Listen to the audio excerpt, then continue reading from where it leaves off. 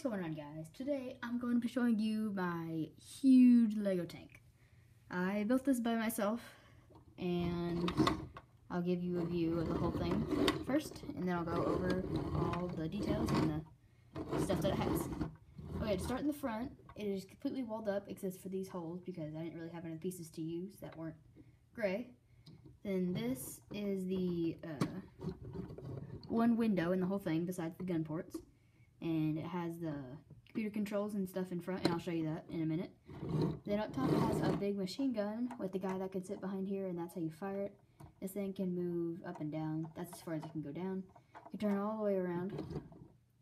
Then it has a machine gun port right here. Then it has another machine gun port over here. Then on the back, you have a big ramp that can flip down. And then you have their four-wheeler uh, the body of the four wheeler or the idea actually came from another set. I just uh, made it smaller. And I'll let you see the inside. That's what the inside looks like. Now I will take off the roof so you can see the inside. It comes off in pieces because it takes a while to get it off.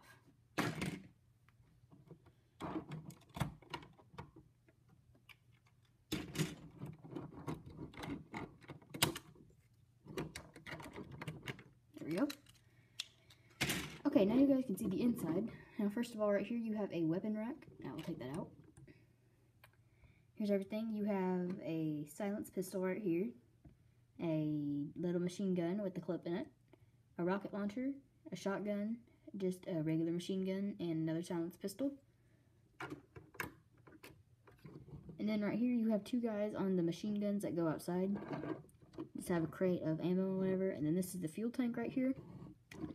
Then you have this lady driving it right here, and that's all the computer controls and everything to drive it. And that's what you saw from the outside. And I think that's about it. Oh, one more thing. I, uh, the wheels for this are from a Power Miner set.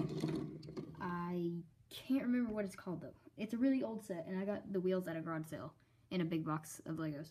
And I can't remember what the set's called, but it's one of the, uh, Power Miners set. Well, thank you guys for watching this video. Please like and subscribe, and I'll see you guys next time.